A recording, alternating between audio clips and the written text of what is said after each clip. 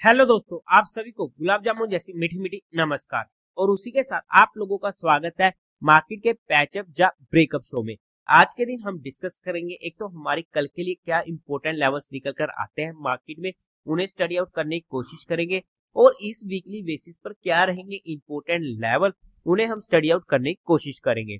और उसी के साथ साथ कल के दिन ना तो किसी आईपीओ की क्लोजिंग है, ना ही लिस्टिंग तो वहाँ पर तो हमारे लिए कुछ भी डिस्कशन करने को है नहीं है। बट जितने भी आईपीओ ओपन होने वाले हैं अदार TVO TGIF energy mission silk flex fine listing refractory Winslow Sloan इन सभी एसएमई आईपीओ और मेनलाइन आईपीओ की रिव्यू वीडियो हमारे यूट्यूब चैनल पर अपलोड हो चुकी है। आप वहाँ से चेकआउट कर सकते हैं। अगर हम सबसे पहले फ्राइडे के दिन का एफ़ और डी डाटा चेकआउट करते हैं तो वहाँ पर डी ने 690 करोड़ की बाइंग करी है और वहीं पर एफआई ने 2390 करोड़ की सेलिंग करी है। नेट में सेलिंग का फिगर होने वाला है। अब अगर हम मार्केट की बात करते हैं तो जैसा कि हमारी बात हुई थी कि 22,780 हमारे लिए इंपॉर्टेंट रेजिस्टेंस होने वाला है। मार्केट खुलती है हमारे रेजिस्टेंस के पास।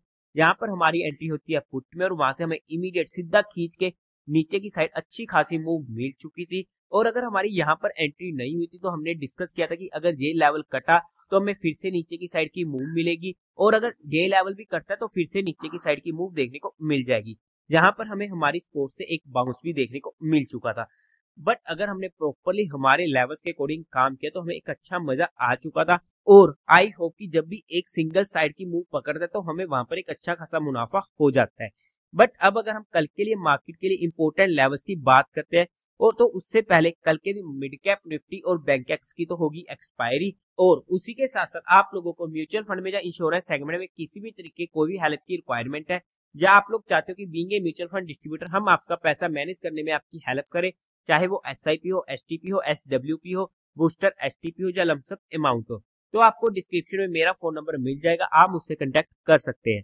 अब अगर हम कल के लिए इंपोर्टेंट लेवल्स की बात करते हैं तो देखो, जैसे कि एच जी एक्स निफ्टी वगैरह हमें बता रहे कि एक मेजर गैप अप हमें देखने को मिल सकता है। बट अगर हम हमारे लेवल के अकॉर्डिंग देखते हैं तो अगर कल के दिन बाईस हज़ार सौ साठ का लेवल ये क्रॉस होता है और सस्टेन करता है तो हमें वहाँ पर बाईस हज़ार सात सौ तक के लेवल देखने को मिल सकते हैं।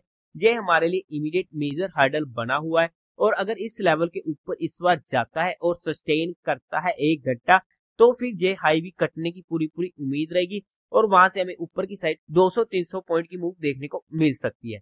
अगर हम निचली साइड बात करते हैं तो हमारे लिए इम्पोर्टेंट और मेजर स्पोर्ट रहेगा ये वाला 22,350 का। अगर ये लेवल नीचे की साइड कटा तो हमें वहाँ पर नीचे की साइड की भी अच्छी मूव देखने को मिल सकती है। बट अगर हमारी एंट्री कहीं पर भी होती है, हमारे लेवल्स के अकॉर्डिंग तो हमारे लिए थर्टी पॉइंट से ज़्यादा का स्टॉक प्लस नहीं होना चाहिए। बिकॉज़ अगर हमारे अंगेस्ट में वो ट्रेड जाती है तो हमें मेजर लॉस ना हो। बट पर्सनली मैं जनरली ऑप्शन बाइंग्स को प्रेफर नहीं करता हूँ, और मैं पर्सनली खुद भी काम नहीं करता हूँ, क्योंकि मुझे ये सबसे ज़्यादा वाहियात तरीका लगता है ऑप्शन ट्रेडिंग में पैसे बनाने का। बट अगर हम इम्पोर्टेंटली देखते हैं वीकली बेसिस पर क्या रहेंगे इम्पोर्टेंट लेवल्स तो कभी भी अगर मार्केट अब हमें 22,230 के लेवल के आसपास देखने को मिलती है तो वो हमारे लिए इम्पोर्टेंट एरिया हो जाएगा जहाँ से हमें बाउंस बैक आने की उम्मीद रहेगी।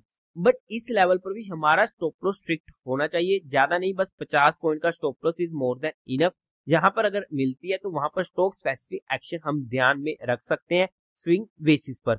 ऊपर की साइड बाईस हज़ार सात सौ के ऊपर जब मार्केट जाएगी, तभी हमें वहाँ पर ऊपर की साइड की स्ट्रेंथ देखने को मिलेगी और नई रैली के लिए मार्केट रेडी हो सकती है। बट हमने यहाँ पर जितने भी पॉइंट्स को स्टडी आउट किया है, वो सिर्फ़ एजुकेशन लर्निंग और केस स्टडी परस्पेक्टिव किया है। किसी भी तरीके की कोई भी इन्वेस्टमेंट टिप या एडवाइस नहीं है। फिर भी आप लोगों को कोई भी काम करना हो तो एक बार अपने फाइनेंशियल एडवाइजर से कंसल्ट करके कीजिएगा। तो देवी और सज्जनों, उम्मीद है आप लोगों को ये वीडियो अच्छी लगी होगी तो इस वीडियो को लाइक कीजिएगा शेयर कीजिएगा और साथ ही साथ चैनल को सब्सक्राइब करें। हर हर महादेव।